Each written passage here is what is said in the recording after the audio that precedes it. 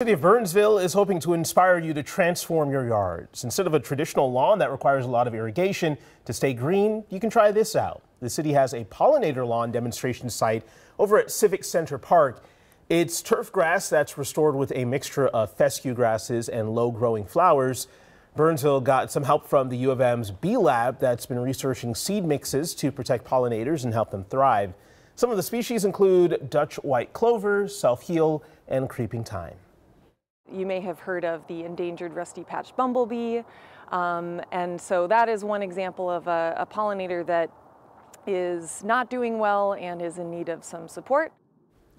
Now, unlike traditional lawns, the bee lawn provides nectar and pollen. To get the site ready, the city first mowed down the existing turf low to the ground, aerated it, and then used light organic fertilizer with a bee lawn seed mix. Now, besides helping pollinators, the city says this type of lawn is low maintenance You've got less growing, less mowing, and the grass is drought tolerant. Yeah, sounds nice to me. There's a, it's a free, they have a free rather in-person workshop on the 25th at City Hall.